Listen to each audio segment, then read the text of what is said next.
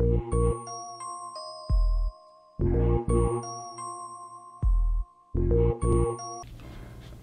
complex rational expression is a rational expression that has a rational expression in the numerator and a rational expression in the denominator. What does that mean? The numerator's got a numerator and the numerator has a denominator and the denominator has a numerator and the denominator has a denominator. Yeah, hmm, that's so complex. What we're going to be doing is we're going to be talking about one of the traditional methods of simplifying these rational expressions. Here we have a rational expression. Okay, and one of the traditional methods is to multiply the numerator and the denominator by the common denominator.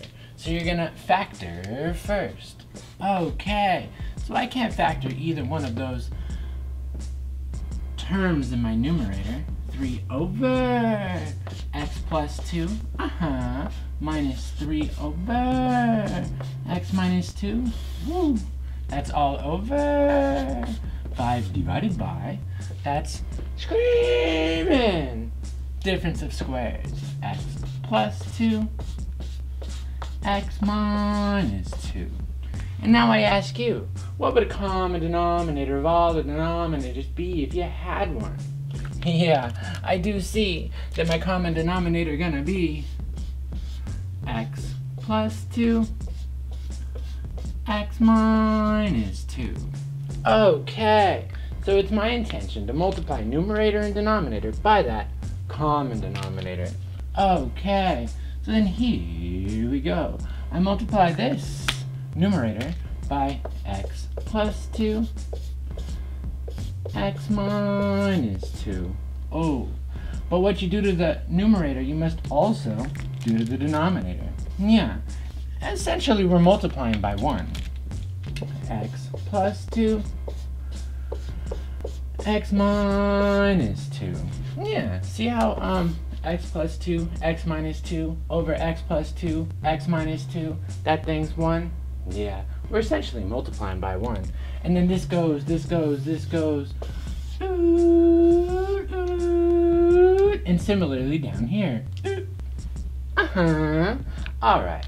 So now, to save time on this little board, what I do want to do is I want to check out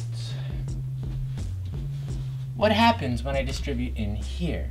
Okay, when I distribute in here, I have x plus 2, x minus 2 times 3 over x plus 2.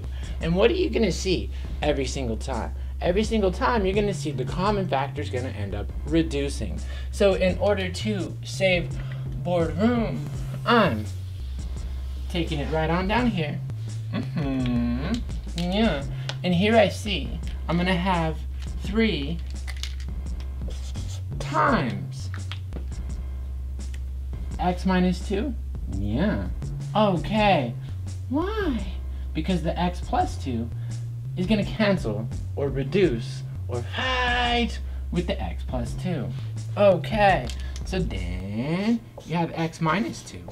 In essence, I'm taking this numerator and I'm multiplying it by whatever its denominator is missing that the common denominator has. Then I'm subtracting off 3 times.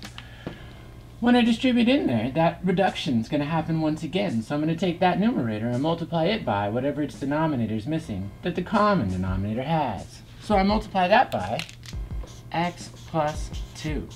Yeah. And then down there in that denominator, oh boy, check out the entire annihilation of this denominator. Oh boy, bam, bam. Looks like the s, x plus 2 and the x minus 2 are both going to reduce. So then I'm left with an all over 5 situation. Yeah, so then I'm going to go and I'm going to clean up that numerator. Why? We're trying to simplify this complex rational expression. It had a fraction in the numerator, two of them, and a fraction in the denominator. Yeah, so then I'm going to keep on keeping on. 3x minus 6. Okay. And then, and then. And then that's a, a, a minus 3x minus 6 divided by 5. Oh, wait. It appears to me that we have additive inverses. Yeah, the number that when added to the number, the sum is none. Oh. And what it all comes down to, it looks like this is going to be a minus 12 over 5. Hmm. Very nice. What does that mean? It doesn't matter which x you picked, as long as it wasn't plus or minus 2. In the original expression, if you were to evaluate that expression, it would always come out to minus 12 fifths. A box.